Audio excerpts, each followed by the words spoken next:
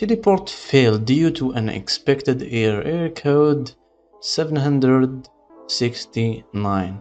So this error you may get when you try to join a game or change world within a game.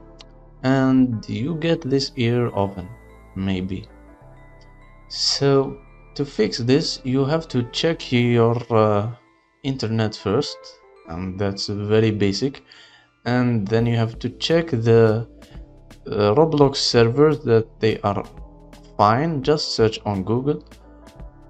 And if those things are okay then you have to do this. You have to go to your start menu and right click and click run. And here what you wanna do you wanna do percentage temp percentage. And then you click ok and here you just wanna delete everything. This will delete all the cache that you have and will have for sure. And it you can also delete the temp file of of the roblox file i just made in my other videos if you want to see it. So you can do that too.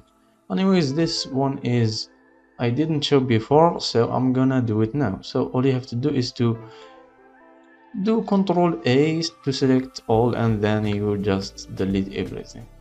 And those that you can delete just skip.